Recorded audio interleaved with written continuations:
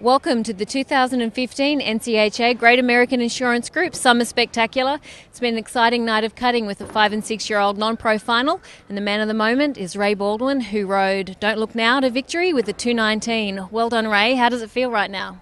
It's hard to put into words. It's a special feeling uh, to win here in, in Will Rogers in Fort Worth. Uh, there's nothing like it, and, to do it on a uh, homebred horse that uh, that we bred out of uh, Don't Look Twice is a pretty special, pretty special moment. So I uh, I can't thank uh, you know Phil Rapp enough, uh, John Mitchell, uh, Sean Flynn, and uh, Corey Pounds who helped me out and always helped me out and uh, do such a wonderful job getting the cows in the right position, getting my cows picked, and and nursing me through these runs because sometimes it can get a little a little dicey, but when you have good help like that, good horses. makes all the difference. I don't necessarily put a all the you know great runs together, but uh, when it fits, it's a special special feeling. So you were cutting steers tonight, which is a little different. Uh, how did that feel?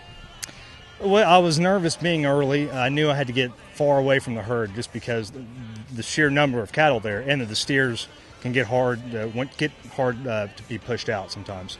And uh, we've cut in California some, so I've had a little bit of practice, but uh, it's certainly uh, different. And you just have to hope for the best and hope you cut clean. And once you get them cl- cut clean, they've been really good this week. So uh, my main goal was just to get cut in the center of the pen and let my horse do his job. Uh, my first cut was a little rough, uh, and Phil lends some wor- words of encouragement, saying basically, "Let's get it going here. Quit messing around."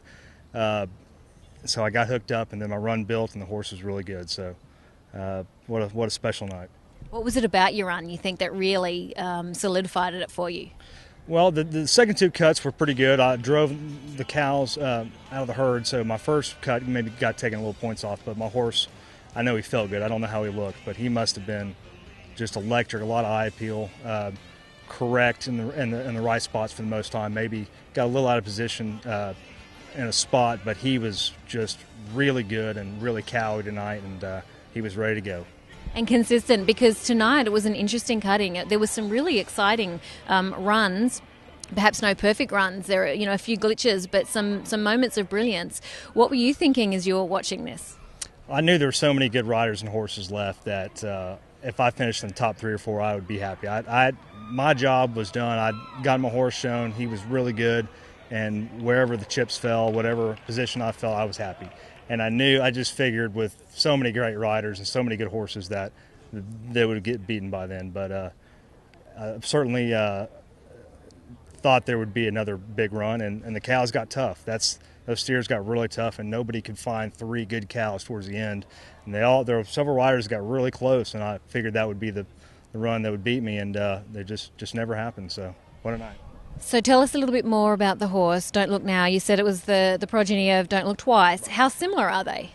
He is the first uh, the first colt out of her. He was a Dual Rey uh, stallion, and we left him a stallion, maybe a little too long. Uh, Phil showed him or showed him last year in his four year old year, and he had a lot of talent. You could see there was a good horse in there, but he was just being a stallion just got in his way, and he couldn't calm down. He couldn't uh, couldn't get past it. So we finally made the decision last summer, maybe a little late, to geld him, and it's taken him quite a long time to get that testosterone out. But in the last three months, he's really softened up and really let you use him more, and uh, he's got a lot of draw to him. He's just a, a, special horse, but it's it's neat because he didn't start. You could, he didn't start out a, a great horse.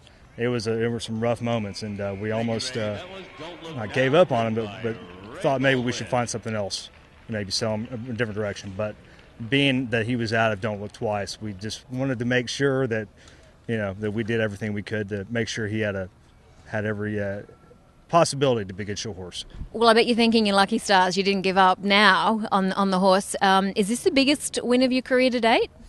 Uh, absolutely. Um, I won. I won the Super Stakes four year old, and that was a that was my first win here in Fort Worth. But to win it on a homebred horse here out of our great mare is uh, it's special. So it's definitely the highlight of my career so far. Well, enjoy and thanks very much for joining us. Thank you very much. Appreciate it.